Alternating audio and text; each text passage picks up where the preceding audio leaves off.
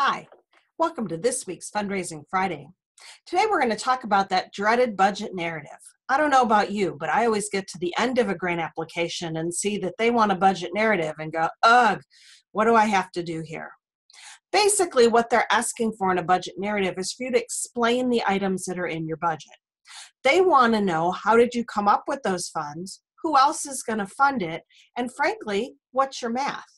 So when you're writing a budget narrative, the easiest way to do it is to go back through the budget itself and go line by line and explain to them, here's how I came up with it.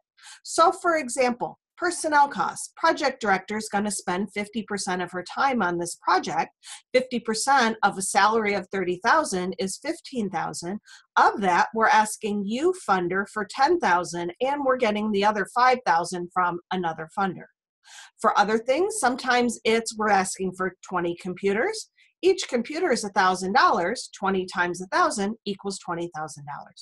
So the budget narrative doesn't have to be anything complicated.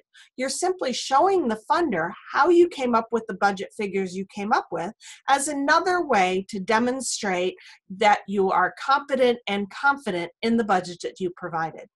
So don't worry about the budget narrative just simply use your spreadsheet and explain it in words, or sometimes copy and paste your spreadsheet if the form will allow that.